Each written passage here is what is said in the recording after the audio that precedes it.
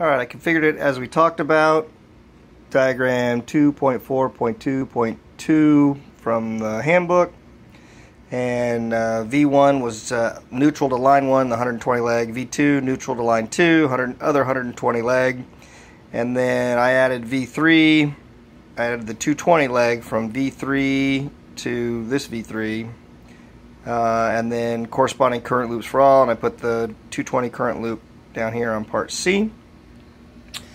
And then when I configured it,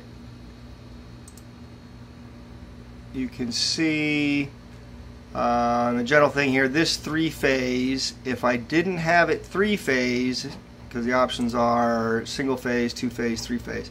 If I did just the AB, I lost the bunch of the PGNs that I needed for it and then came to the advanced leg nothing changed here just you know normal installation 100 amp loops.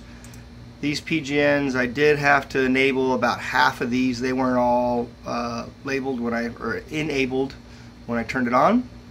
And then as far as the frequencies uh, transmitting PGNs so if we look here let's see here uh, B basic quantities.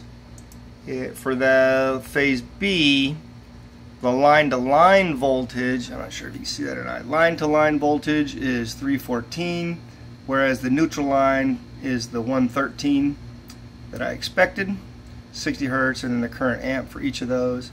So that was line B. A quantities, you can see the line to line was 196 with 114 voltage and the same current amp. It's all flowing there. Now C, so this is the 220 basic quantities. So it's producing the line to line voltage, it says it was 314, whereas the line to neutral is uh, 220. 60 hertz, currently 12 amps. Um, with all those PGNs enabled, I was able to make this screen real quick, which is the voltage, current, frequency for each leg, and power for that leg, and then uh, the total power calculated down here, which all makes sense to me. Appreciate the help.